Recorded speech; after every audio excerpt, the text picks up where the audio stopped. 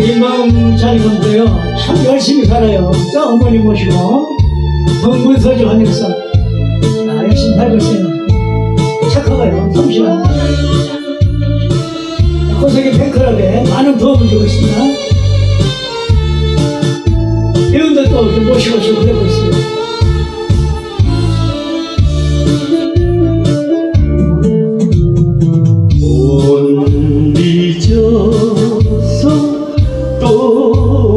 또 왔네 미련 때문에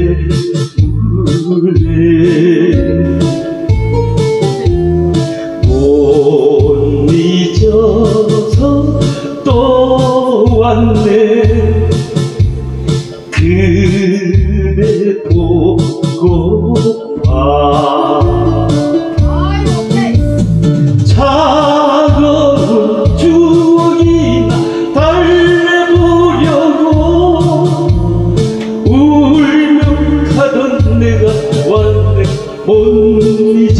잊어왔네. 그리운 니 찾아서 내가 또 왔네.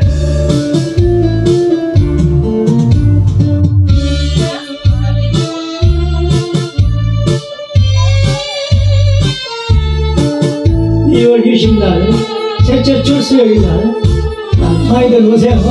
빠고다타운 별관 2층. 네. 못 잊어서 또 왔네